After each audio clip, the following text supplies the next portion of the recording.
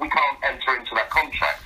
Um, I mean, it, it's one of the, the nightmares with dealing with private companies is if, if you're going into a, let's say, a syndicate sale like you were, um, somebody drops out and you're not in a financial position to either cover the rest or whatever the case may be, you know, the, these sales fall apart. And it's, it's very hard for an advisor to sort of keep a control over what other people